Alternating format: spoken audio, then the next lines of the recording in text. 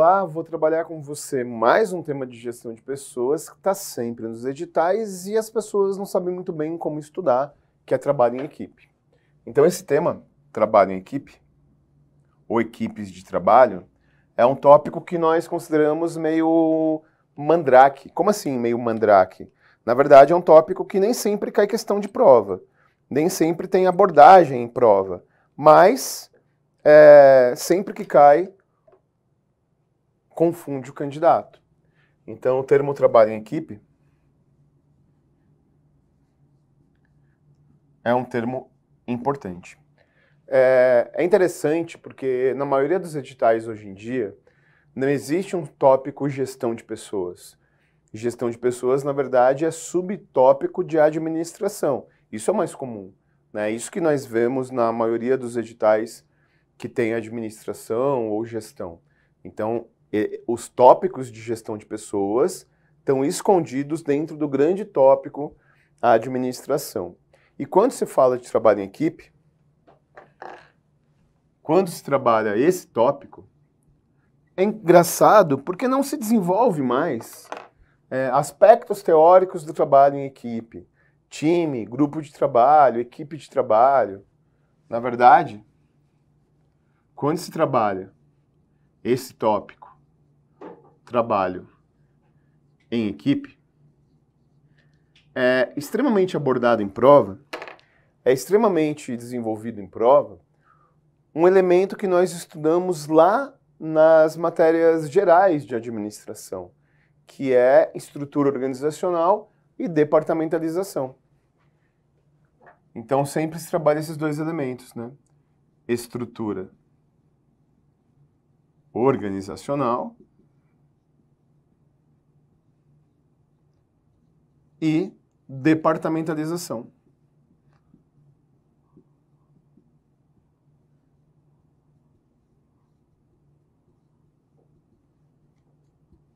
Ô, Rezendão, eu achei estranho porque na prova que eu fiz não tinha no edital estrutura organizacional e departamentalização. E caiu uma questão.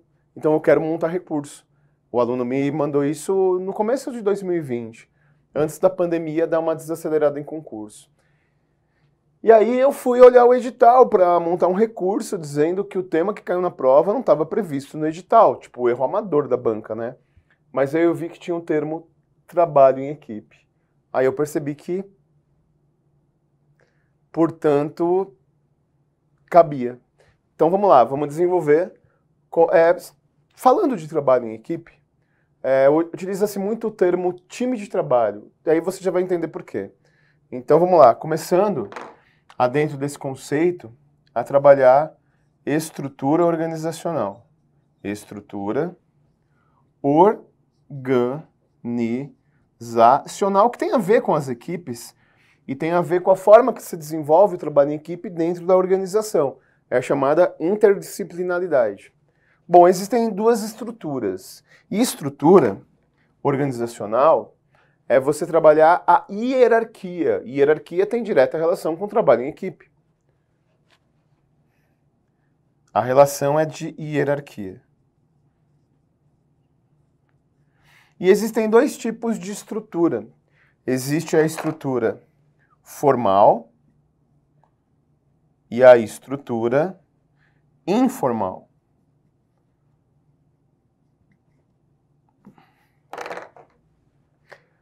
A estrutura formal é vinculada a um momento da administração em que você tem relações muito rígidas, você tem relações muito pesadas, você tem relações muito engessadas, ou você tem uma necessidade de formalismo, como por exemplo a estrutura militar. Então a estrutura formal, ela é representada por esse organograma.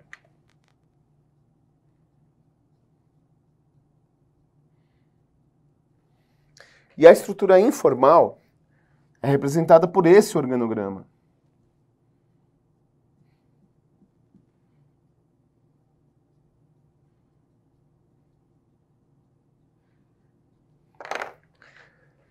Você já trabalhou numa equipe em que todo mundo é chefe? Você está trabalhando numa equipe que, numa empresa que tem tanto chefe que você até fica perdido e não sabendo quem é o seu chefe, para quem você se dirige, qual é a cadeia de comando? Pois é. Então, a estrutura formal, ela também é definida em prova como estrutura comprida ou estrutura vertical. E quais são as características dessa estrutura? O que, que caracteriza esse tipo de estrutura? Em primeiro lugar, o chefe é muito distante do operacional.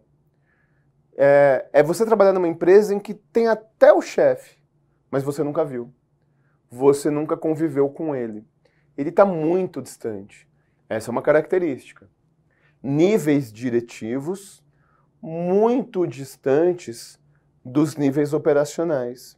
E quando você tem os níveis diretivos muito distantes dos níveis operacionais, você tem algumas características, você tem algumas situações, como por exemplo, é... ponto negativo. A cadeia de comunicação ela é muito demorada. O chefe dá uma ordem e até chegar no peão, até chegar no operacional, demora muito, demora uma eternidade. Por quê? Porque sempre passa pelos níveis intermediários. Sempre vai passando por cada nível intermediário. Não existe agilidade, não existe rapidez. Essa é uma característica negativa. Larga cadeia de comunicação. Qual é o outro aspecto negativo? Você já percebeu que falando de equipe de trabalho, aqui não tem muita equipe? Aqui a decisão é concentrada. Aqui a decisão é centralizada. Aqui não existe colegiado, não existe grupo de trabalho, não existe equipe de trabalho, porque essa estrutura favorece a decisão é, autocrática, a decisão centralizada. Então, essa é outra característica. E quando você não é consultado, quando você não é participado, você fica desmotivado, você fica tristinho.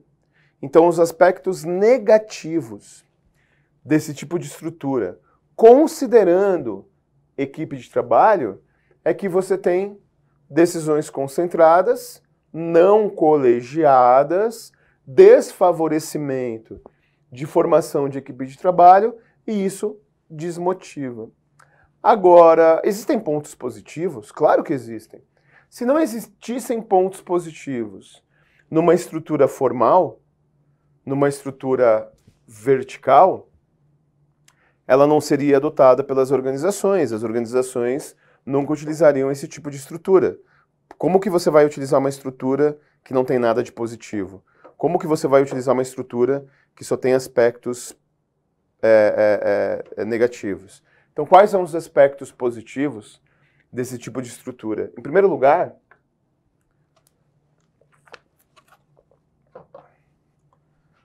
você percebeu que numa estrutura formal, as decisões estão na mão de uma pessoa, estão na mão de duas pessoas.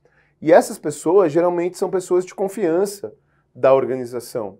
Né? Uma, uma, o AlphaCon não daria uma decisão importante nas mãos de alguém que acabou de entrar. Não daria uma decisão importante sobre um trabalho nas mãos de alguém que chegou agora na empresa e não conhece a estrutura da empresa. Então, um aspecto positivo é que na estrutura formal você tem menor risco de desvio dos objetivos. Esse é um elemento importante. E qual outro elemento importante? A decisão é tomada por uma pessoa. E se a decisão é tomada por uma pessoa, você tem agilidade, tempo rápido de decisão. Simplificando, a decisão é tomada rapidamente, mas ela demora para chegar até o peão. Deu para entender? Agora, a, portanto, a estrutura formal ela não favorece muito o trabalho em equipe. Não favorece muito a formação de equipes de trabalho. É uma estrutura que favorece o individualismo. Já na estrutura informal, você tem alguns outros nomes. Ó, essa estrutura aqui é estreita. Essa estrutura é larga. Então, Essa estrutura é chamada de estrutura larga, horizontal e achatada. E essa estrutura, ela tem como característica o nível diretivo está muito próximo do nível operacional. O nível diretivo está pertinho do nível operacional. E, por exemplo, é a estrutura moderna, gerencial, que as organizações deveriam ter.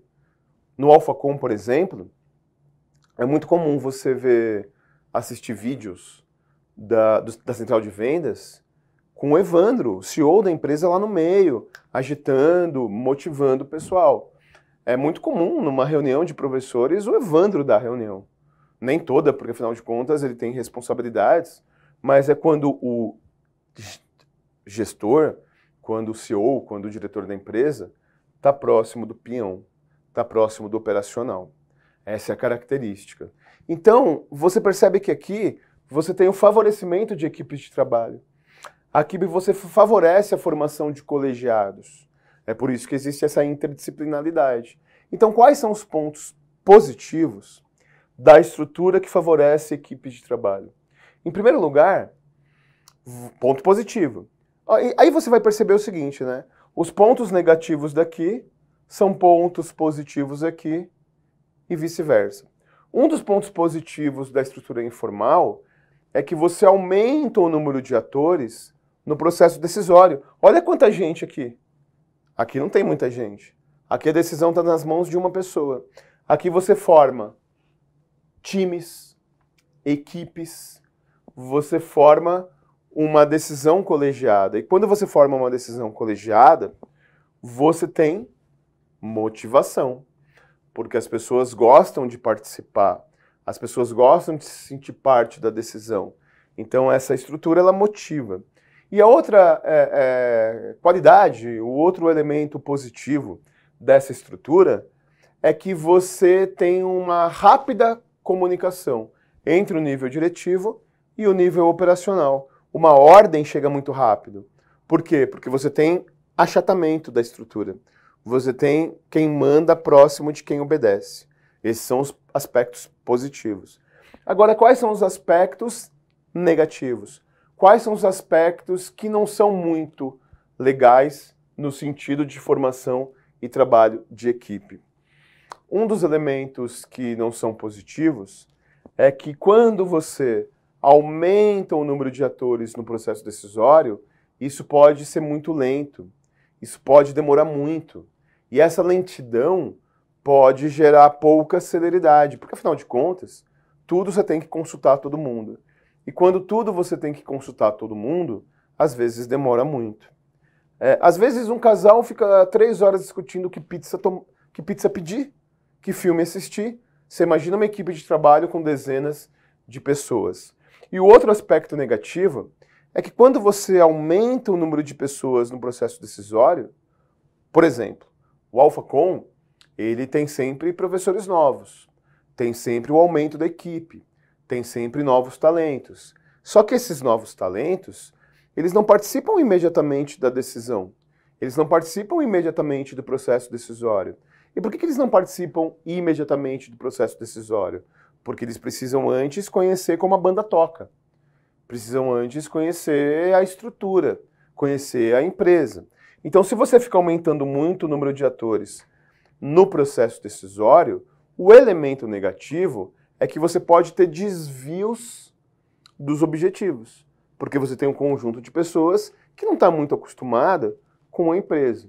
Mas das duas estruturas, a que mais favorece o trabalho em equipe é a informal. Perfeito? Vem comigo. Como eu desenrolei, como eu expliquei para você,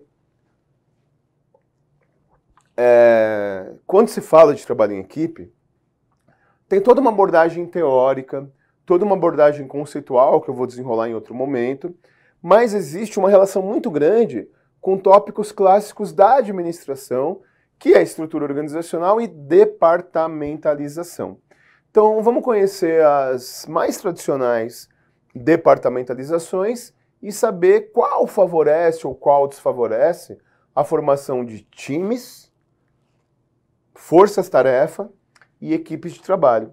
Então vamos lá.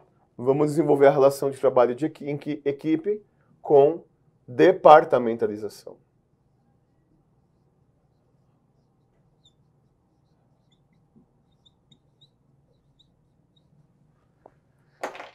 O que, que é departamentalizar? Departamentalizar é você agrupar por similaridade. Por exemplo, quando você vai no mercado, você não põe é, veneno de barata junto com mussarela, junto com sorvete, junto com absorvente. Você separa. Pelo menos em tese tem que ser assim, né? Então você separa itens de limpeza, itens de higiene pessoal, itens de geladeira. Então, departamentalizar é agrupar por similaridade. E existem algumas departamentalizações que favorecem o trabalho em equipe. Existem algumas departamentalizações que desfavorecem o trabalho em equipe. E a primeira é a departamentalização funcional. E a departamentalização funcional, ela tem que critério para agrupar? Ela tem que critério para criar departamentos. O critério é o critério da especialização. Porque a estrutura funcional é assim, ó. Ela tem três departamentos. Departamento jurídico, departamento de marketing, departamento pedagógico. Você só trabalha com uma equipe que tem pessoas com a mesma formação que você. Advogado só trabalha com advogado. Contador só trabalha com contador. Não tem mistura. Cada um na sua, cada um no seu esquema. Então, nesse sentido, você agrupa por especializações. Cada um com a sua especialidade. Você já trabalhou numa empresa em que a equipe é tão fechada que você sabe quando o cara está no outro departamento, que você sabe quando o cara é de outro setor, ou aquele cara ali é de outro setor, ele está aqui na equipe. Se você já trabalhou numa empresa em que tudo é fechado, tudo é blocado, cada um fica na sua, membros de uma equipe só bebem e transam com membros da sua equipe, aí você tem uma departamentalização funcional, que é antiga, não é hoje valorizada pelas mais modernas abordagens administrativas. Então você trabalha apenas com pessoas da sua área de formação. Do ponto de vista do trabalho em equipe, do ponto de vista do desenvolvimento de equipe, existem pontos positivos e pontos negativos. Quais são os pontos positivos? Um dos pontos positivos desse tipo de departamentalização é que você favorece a meritocracia. Como assim? Você já trabalhou com um chefe que não tem a sua formação? Você já trabalhou com um chefe que não é da sua área? Eu sou pedagogo. Então, para analisar o meu trabalho pedagógico, de desenvolvimento de plano pedagógico, por exemplo, eu preciso ter alguém que tenha a mesma formação do que eu. Se eu sou fisioterapeuta e alguém vai criticar a forma que eu faço um tratamento, a pessoa tem que ser fisioterapeuta. Então, um dos pontos positivos da departamentalização funcional é que ele favorece a meritocracia, porque eu só trabalho com pessoas da minha área, eu só trabalho com pessoas do meu setor. E qual outro elemento positivo da funcional? Um funcionário não trabalha em outro departamento. Um funcionário não vai para o outro departamento. Cada um fica na sua, cada um fica no seu quadrado. E quando cada um fica na sua, cada um fica no seu quadrado, você favorece o controle. Você já viu aqueles é, depósitos de criança em shopping center e supermercado? Tem bastante em São Paulo, né, por exemplo, acho que em todas as cidades, tem muito depósito de criança. Lugares lá em que você deixa seu filho para ir no shopping e fazer compra. E esses depósitos de criança sempre são gradeados. Sempre tem grade de todos os lados. Ou seja, para você ter o sentimento que o seu filho não vai fugir, que o seu filho não vai sumir. Então, aqui não existe conversa entre os departamentos. É blocado. E isso favorece o controle. Então, os dois aspectos positivos, considerando o trabalho em equipe, são esses. Favorece a meritocracia. Eu só trabalho com pessoas da minha especialização e formação. E o outro aspecto positivo é que favorece o controle. Agora, existem elementos negativos. E quais são os elementos negativos? O primeiro elemento negativo é que você não tem trabalho interdisciplinar. Você não tem trabalho entre pessoas de vários departamentos. E a gente sabe muito bem que hoje em dia, tanto no serviço público quanto na iniciativa privada, é importante você ter equipes multidisciplinares. É, equipe você, é importante você ter pessoas de vários setores trabalhando juntas. Então, esse é um aspecto importante. Esse é um dado importante. O lado negativo daqui é que você não tem trabalho entre setores e departamentos. E o outro aspecto negativo é que o departamento ele não consegue analisar para fora, ele só olha para dentro. E quando ele só olha para dentro, ele perde oportunidades. Ele não enxerga que no outro departamento existe uma possibilidade de colaboração. Deu para entender? A próxima departamentalização que tem a ver com trabalho em equipe é a matricial. E a matricial, ela. Qual é o critério? Eu, eu, eu falei para você né, anteriormente que departamentalizar é você agrupar por similaridade. Você agrupar por algo que seja próximo àquilo que você faz, seja próximo àquilo que você quer. Então, o critério da matricial de agrupamento e de departamentalização é por projetos.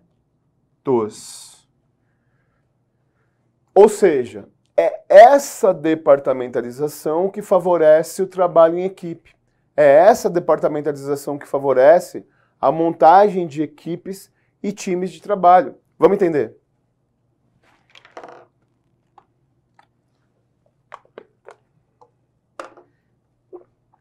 Aqui eu tenho o departamento A, departamento B, departamento C e departamento D, departamento F e departamento G.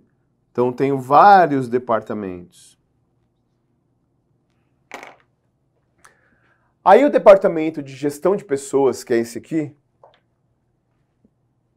percebe que os servidores públicos não manjam muito da 8112, não manjam muito de direitos e deveres. Na verdade, lembram de todos os direitos, mas não lembram muito dos deveres. E ele resolve montar um curso interno para os servidores públicos de 8.112.